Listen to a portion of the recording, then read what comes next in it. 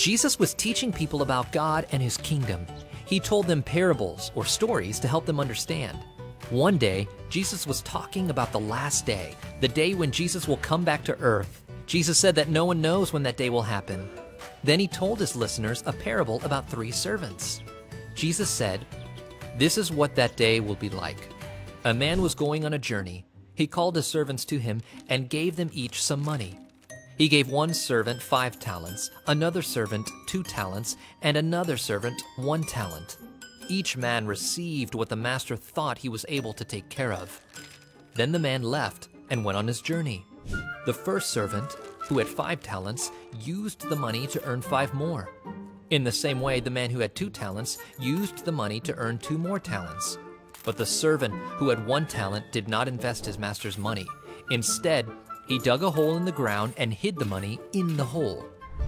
After a long time, the master came home. He asked his servants what they had done with his money. The servant who had five talents and the servant who had two talents showed the master that they had earned even more talents.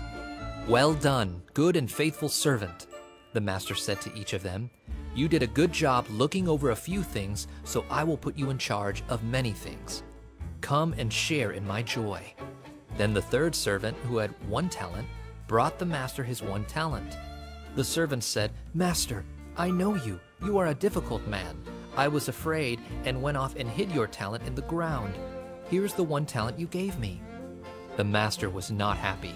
You evil, lazy servant. You should have put your money in the bank so that when I return, I would get my money back with interest. The master took the talent from the servant and gave it to the servant who had ten talents. The master said, Everyone who uses what they have will get even more, and they will have more than they need. But anyone who wastes what he has will have everything taken away.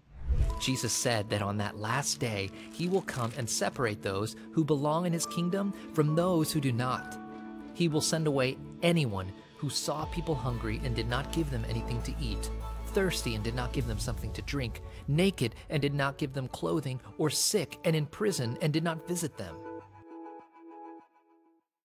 Every believer, as a servant of Christ, has the task of serving God with his or her life. We eagerly wait for the day when we can share in the joy of our Master. Heaven is the joy of knowing, worshiping, and enjoying Jesus forever.